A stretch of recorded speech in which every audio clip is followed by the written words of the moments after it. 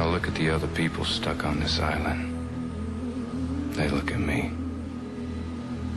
They think they know me. Know what I'm capable of. What I'll do to survive. They have no idea. Everything happens for a reason. Please.